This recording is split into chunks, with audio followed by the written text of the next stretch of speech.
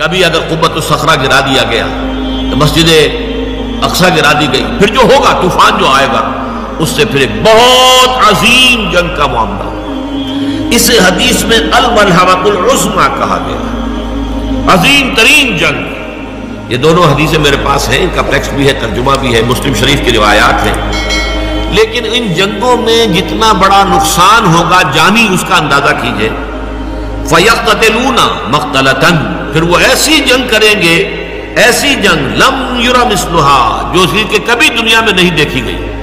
क्योंकि वास्ट इलाके में बहुत बड़ी जंग हो रही है तो और बात है। जंग अजीम अव्वल, जंग अजीम दो, पूरी दुनिया में फैली हुई थी। ये एक मकाम पर जो जंग होगी, मिडल ईस्ट में। और इसकी जगह जो है, जो आर्मगेडॉन के नाम से जो है ये, जो मकाशफात यूहन्ना है, उसमें कहा गया आर्मगेडॉन। और हदीस में आया अल मलहमतुल मलहमतुलमा अजीम तरीन जंग।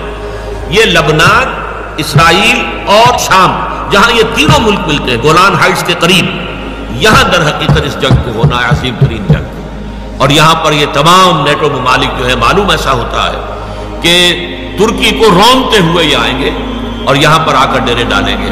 तुर्की को भी खत्म करेंगे, इसलिए कि इस्तंबुल तो इनकी निगाहों में खटकता है। ये तो पुराना ईसाई शहर है।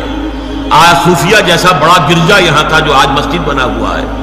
हर यूरोपीय ईसाई के दिल के अंदर जो है वो गोया के तीर उसका लगा हुआ है, तीर तराजू है।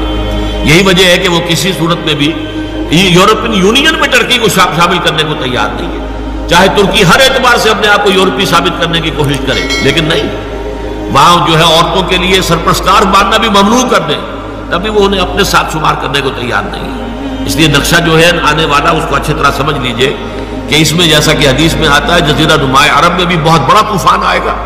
और सिर्फ़ मदीना मुनवरा जो है, और शायद उसके नीचे मक्का मुकरमा ये हिजाज का इलाका बचेगा, बाकी पूरे पर जो है वो दुश्मनों का कब्जा होगा।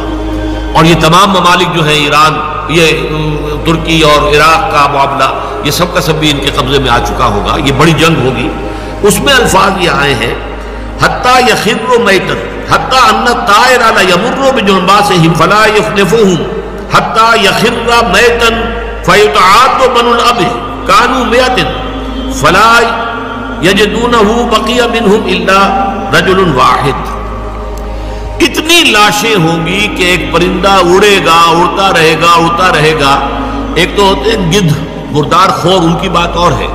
एक परिंदे चिड़िए, ये बड़ी निफासत पसंद होती है, ये गंदगी के ऊपर नहीं बैठती नहीं उतरना नहीं चाहती। लेकिन ये कि लाशों से और उनकी बदबू से वो पूरा इलाका इस बुरी तरीके से मुताफिर होगा कि परिंदा उड़ता जाएगा उड़ता जाएगा उड़ता जाएगा, उसे उतरने की जगह नहीं मिलेगी। यहाँ तक कि थक कर वो मुर, मर कर मुर्दा होकर नीचे गिर जाएगा तो एक लाश के ऊपर गिरेगा। और उसके बाद जब गिनती की जाएगी तो एक शख्स के सौ बेटे होंगे तो उनमें से एक बचे।